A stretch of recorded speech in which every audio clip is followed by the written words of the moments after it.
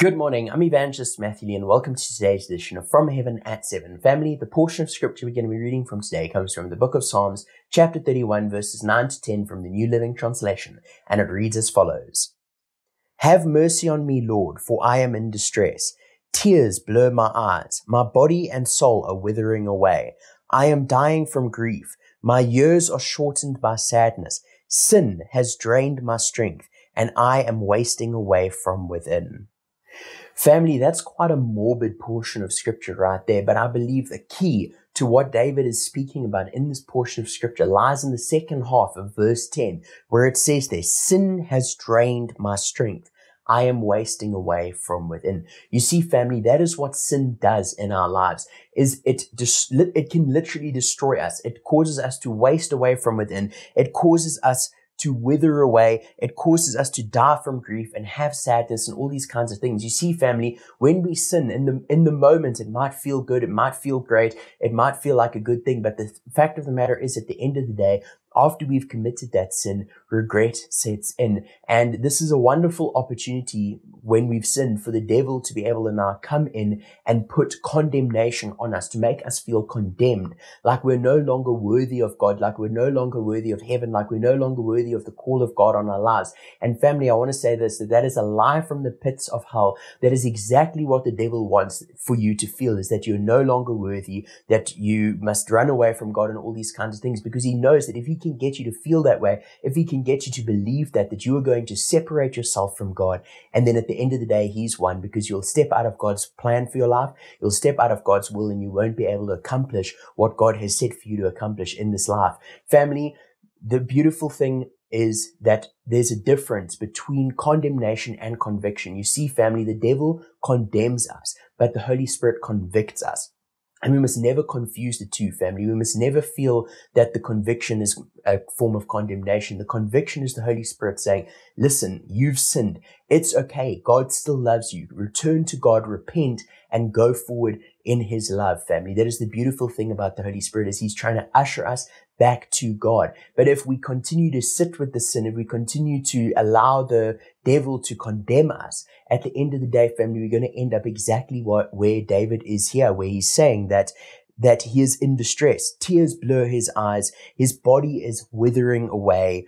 His years are shortened by sadness. Sin has drained his strength and he is wasting away from within. Family, that is literally what sin does to us. That is literally what condemnation does to us. That is literally what separation from God does to us is it makes us feel this way. It, it burdens us. It saddens us. It weighs us down. It robs us of our strength. It robs us of our joy and all these kinds of things, family. So I want to encourage you, whenever you sin, do not allow the devil to condemn you, family. Allow the Holy Spirit to usher you and guide you through his conviction to get back into the Lord. Be quick to repent, family. Whenever you've sinned and you know you've sinned, stop and turn to the Lord and say, Lord, I've sinned. Please forgive me. And the Bible says that he, if we ask him, he is faithful and just to forgive us of our sins and cleanse us of any and all unrighteousness. And our family, this doesn't mean that we can just go on living a sinful life and just be like, okay, well, it's okay. God's merciful. God's gracious and he'll just forgive me. I'm just going to continue doing this. No, family. You see, that is where the, the conviction of the Holy Spirit comes because the Holy Spirit is there to lead us and guide us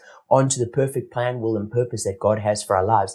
And that includes turning away away from sin and walking a life that is holy and righteous before the Lord family. And we must follow the guidance of the Holy Spirit. We must follow the ushering of the Holy Spirit. We must never abuse the blood of Jesus. We must never abuse the grace of God, but we must just know that it's there as a safety net, that if we slip, if we fall, His grace is there to catch us. His love is there to help us and guide us back onto the path and into right standing with God so that we can continue forward because the Lord knows that if there was no grace, if there's no forgiveness, if there's no love, at the end of the day, we would all be separated from God and we would not be walking on his plan, will, and purpose. But he loves us so much that he sent his one and only son to die for us so that through him we may be forgiven of our sins. So, and as a result of that, we can walk in fellowship with God and we can walk down the perfect plan, will, and purpose that God has for our lives. So I want to encourage you going forward, family. Never allow sin to separate you from God. Never allow sin to get you to this place where David is speaking about here. But instead, when you sin, be quick to repent, return to the Lord and ask Him by His grace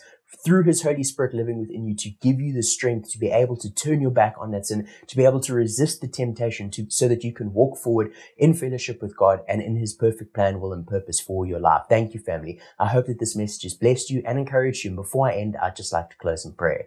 Father God, we come to you in Jesus' name. Lord, we thank you for this day, that this is the day that you have made, and we can rejoice and be glad in it. Lord, we thank you for your goodness, your grace, your mercy, and your love. Lord, we thank you, Lord, that when we sin, Lord, we know that we can come to you and ask for forgiveness, Lord. And we thank you, Lord, that as we ask, you grant it to us, Lord. You restore us to right standing with you, Lord. And I thank you, Lord that you help each and every one of us, Lord, to be quick to return to you when we sin, Lord, to not allow it to weigh us down, Lord, to not look back at that sin, Lord. Help us, Lord, through your Holy Spirit living within us by your grace, Lord, to be able to resist the temptation, to be able to turn our backs on that sin, Lord, so that we can walk forward with you down the perfect plan, will, purpose, and path that you have for our lives. And we give you alone all the praise, the glory, and the adoration for all that you're busy doing and accomplishing in us and through us as we continue to walk in your forgiveness. In Jesus' mighty name we pray. Amen. Thanks for watching my video. I trust that the message blessed you and encouraged you. And if it did, I'd like to ask you to please hit the share button to spread this message and share it with your friends and family on social media so that they too may be blessed by this message. And before you leave, please give this video a thumbs up, drop a comment, let me know what you think about the contents of the video. And I'd like to invite you to please come back and join me for more episodes of From Heaven at 7, which premiere live every Monday to Friday at 7 a.m. Central African Time on my Facebook page as well as my YouTube channel, where the replays of the videos remain for those who are unable to watch the live premiere.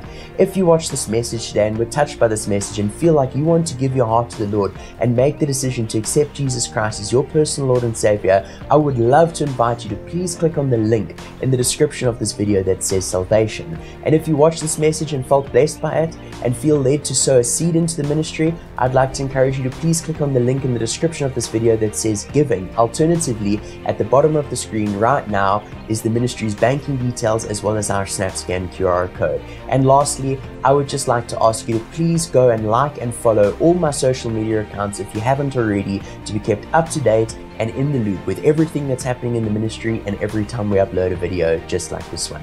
Thank you, family. Enjoy the rest of your day and God bless.